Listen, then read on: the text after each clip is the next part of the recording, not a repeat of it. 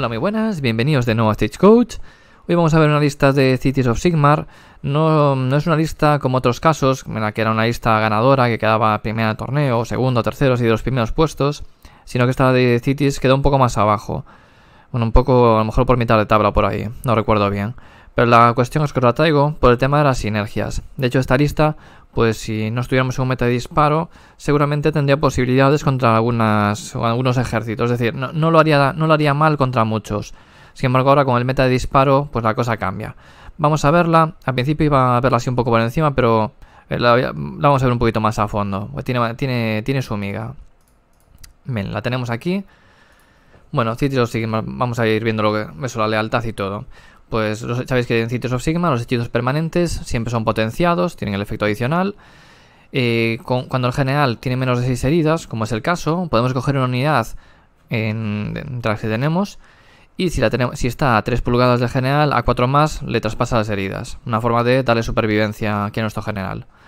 Y además, si tiene menos de 6 heridas, puede también escoger a un héroe adjunto. O sea, como un general, el adjunto del general. Y si ambos están a 3 pulgadas, a menos de 3 pulgadas en fase de héroe, pues a 4 más gana un punto de mando adicional. Y eso está bien, pues nos dan puntos de mando que luego podemos utilizar para otras cosas. Y una de cada 4 unidades pueden ser Storkas Eternas. En este caso no nos influye. Además, ahora por ser eh, Tempestai, el ojo de la tempestad, el ejército es del reino de Axi. En la primera ronda de todas las unidades tienen más 3 al movimiento y más 1 a salvar. Esto está muy bien, porque en la primera normalmente queremos coger objetivos y el, más uno a salvar nos sirve para evitar pues, esos ejércitos que nos hacen un alpha strike. Una forma de tener una, primera ronda un poco más tranquila.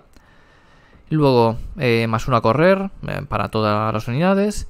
Y una de cada cuatro unidades puede ser Caradron Overlords. Que en este caso no nos va a dar igual porque tampoco lleva a Caradron. Bueno, en Storkas Eternas sí que llevamos. Antes dije que no, pero sí que llevamos. Pero tampoco nos lleva dos de Otherwings. Mm, pero bueno, pueden ir por aliados sin problema.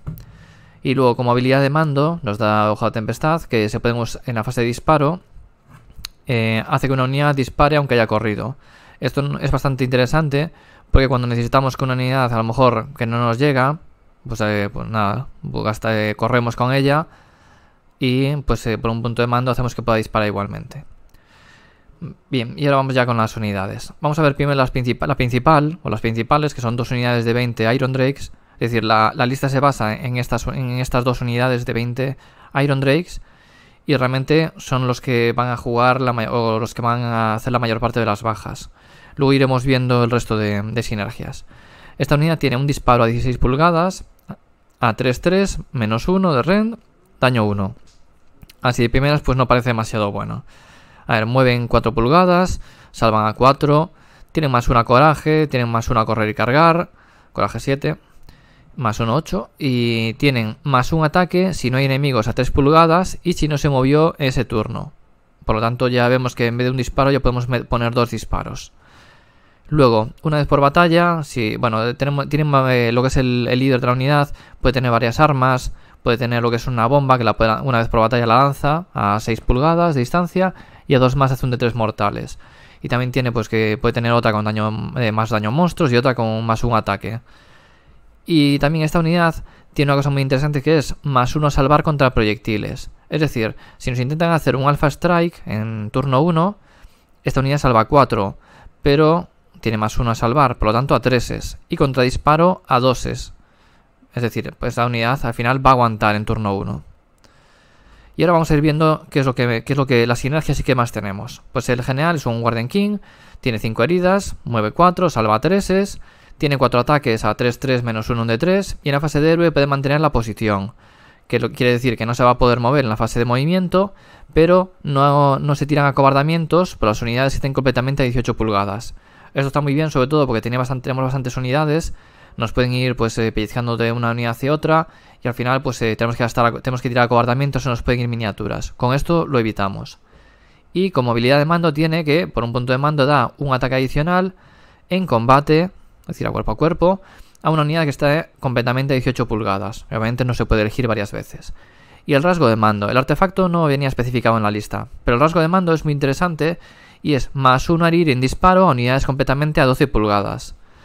Ya vemos que en vez de a 3 es 3 menos 1 1, ya podemos ponerlos a 3 es 2 menos 1 1 y con, incluso con dos ataques. Bien. ¿Qué más cosas tenemos? El Rune Lord. Uno va como el adjunto para el punto de mando adicional a 4 más. Y lo tanto uno como otro, pues disipan un hechizo, tienen más 2 a dispersar y disipar, que está muy bien. Y lanzan plegarias a 2 más. Las plegarias, que también son aquí interesantes, eh, una de ellas es elige una unidad y niega heridas a 6 más. Es decir, no hay dolor de 6, está muy bien, sobre todo para intentar proteger un poco más estas unidades.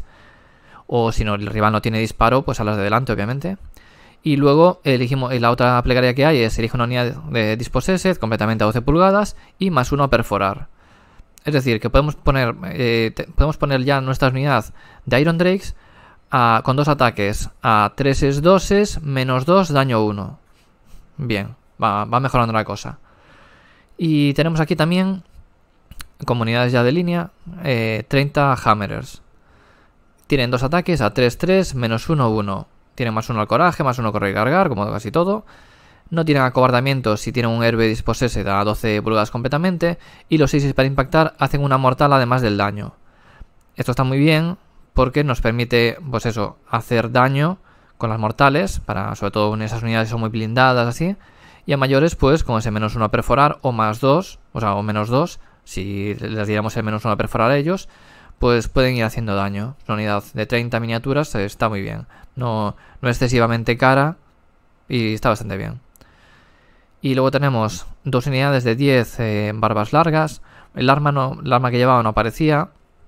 Tienen, tienen dos tipos de armas, que es un ataque a 3-3 menos 1-1 o un ataque a 3-4 sin, sin ren daño 1.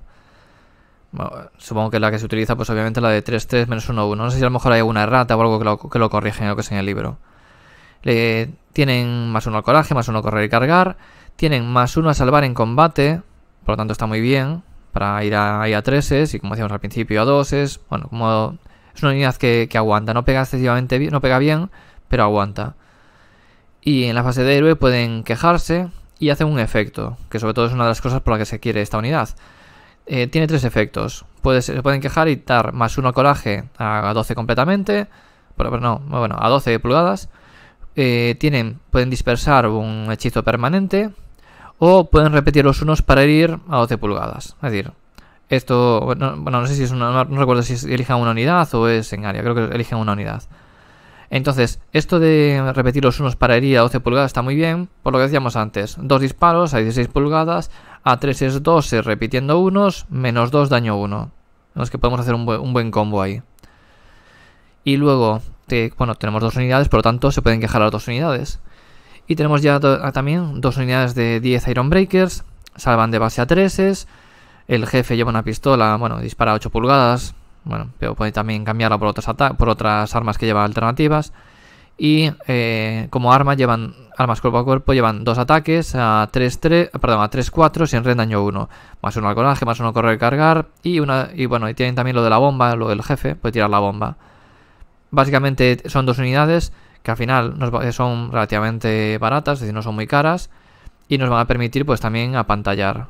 Van a tres, salvan a 3, salvan bien. Bueno, en el turno 1 salvan a 2. al final vais viendo ¿no? cómo va la cosa. Apantallar a los Iron Drakes, los Hammers para poder pegar un poco ahí cuerpo a cuerpo y también tener cuerpos de una unidad un poco grande. Y lo demás eso, por proteger y bufar a los Iron Drakes. Luego llevan dos unidades de Otherwings que no van como aliados porque una de cada cuatro unidades puede ser Stormcast Eternals. Pues dos de Otherwings que básicamente lo vamos a usar para pantallar. Perdemos la habilidad esto de... Eh, porque, no tenemos, porque no llevamos Raptors. Entonces no podemos eh, utilizarlos como contracarga. Pero al final es una unidad muy barata, 40 puntos, que nos sirve para pantallar. Y ya la última unidad que tenemos es un Behemoth, es un Celestial Hurricanum, Hurricanum es una unidad de 11 heridas, mueve 10, eh, se va degradando, salva 4. Tiene un ataque a 18 pulgadas en la que tira 3 dados, que esto también se va degradando, era parte de la tabla de, daños. Y eh, eh, tira esos 3 dados y a 2 más, un de 3 mortales a la unidad. en melee no es demasiado bueno, ya no, no voy a decir los perfiles, no es demasiado bueno. ¿Y qué más tiene? Es un mago, tiene más uno a lanzar hechizos y en, ah, perdón, sí, más uno a lanzar hechizos si está en, en Azir. Tiene más uno a lanzar hechizos, o sea, le da más uno a lanzar hechizos al colegio de magos, que en este caso no nos afecta. y tiene más uno a impactar a unidades, o sea, más uno a impactar a unidades ciudades de Sigmar que estén a 10 pulgadas. Está, bien, también se va degradando. Vemos que aquí seguimos ya eh, mejorando lo que son los perfiles. Es decir, ya podemos ir allí a 2 es 2 repitiendo unos menos 2 daño 1. Eh, al final es parte del combo. Y tenemos también aquí que puede lanzar un hechizo. Eso, como decíamos, era un mago, tiene esos bonificadores. Tiene un, eso, un hechizo y disipa uno. Los tiene dos, sabe dos hechizos, aparte de los genéricos. Uno es relámpago en cadena, dificultad de 6, elige una unidad de 18 pulgadas y le hace un de 3 mortales. Y tira un dado por cada unidad a 6 pulgadas y a 4 más un de 3 mortales también. Es decir, esta lista contra, contra, contra sí misma o contra una lista de MSU con este hechizo pues puede hacer unas cuantas mortales ahí bonitas. Y el otro hechizo que tiene es eh, Cometa, que tiene dificultad de 6, elige una unidad a 18 pulgadas, tira 2 de 6. Si la tirada es menos que el movimiento es un de 3 mortales y si es más, un de 6. Está muy bien. Al final es una pena que no tenga, por ejemplo, otro hechizo más, que, sea, es decir, que solo tenga un hechizo. Pero está bastante bien y además el bufo que, bufo que da. El más uno impactar este. Y esto sería lo que es la lista. Hay otra cosa también interesante y es que la lista eh, lleva 1960 60 eh, puntos. Podría llevar también, a lo mejor, pues podemos pensar, pues otra de Otherwings. Entonces ya con otra de Otherwings, pues que llegaríamos a los 2000 puntos. Incluso, bueno, no conté las unidades, pero a lo mejor no da, habría que meterlo como aliados, que nos daría un poco igual. Pero con 1960 puntos es bastante fácil conseguir llevarse el triunfo. Porque normalmente quien tiene 1950 se va a comprar un punto de mando adicional y normalmente los demás suelen ajustar un poco más. Entonces es bastante fácil tener el triunfo. Si lo podemos elegir, pues genial. supongo que dependerá un poco contra quién vayamos, pero el de repetir salvaciones va muy bien, sobre todo si nos disparan a los Iron Drakes, que lo que queremos ahí a pantallar, pero si nos disparan a larga distancia no tenemos con qué hacerlo. Y entre los las bonificadores de salvar y así, pues eh, más el, el no hay dolor de 6, pues al final, si podemos repetir las salvaciones, con eso los hacemos bastante inmunes al daño. Y nada, una lista de 148 heridas. Ya os digo que no es eh, top top, tiene, tiene sus defectos como por ejemplo la pegada y que se basa en esas dos unidades, que es lo que más daño va a hacer. El Celestial Hurricane no, no, tiene un aguante especialmente alto, son 11 heridas salvando a 4 y es relativamente fácil tirarlo abajo con un poco de disparo, más como está en meta hoy en día. Y la verdad es que es una unidad que puede hacer daño, tiene buffos, tal, es, muy interesante, pero también tenemos que posicionarla bien, bloquear un poco para que no lleguen a ella. Y nada, eh, esto sería todo lo que es la lista. Espero que os haya gustado, veremos otras listas eh, diferentes de Cities of Sigmar, sabéis que se pueden hacer muchísimas combinaciones. Y nada, traeremos otras en el futuro.